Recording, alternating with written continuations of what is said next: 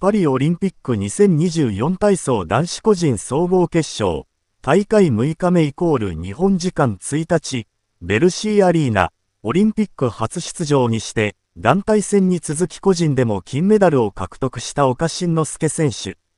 全6種目をノーミスで演技し、合計86.832点で競技を終えました。2位の超広常との差はわずか0.233点。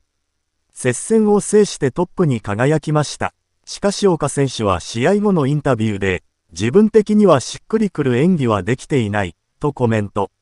競技の中で最も良かった点を問われると、最初の床の着地。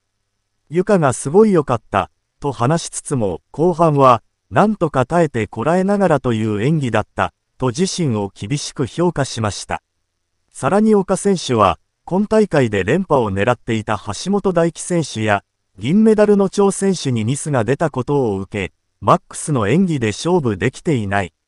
お互いミスなくいい勝負したい、と、よりハイレベルな戦いに意欲を示しました。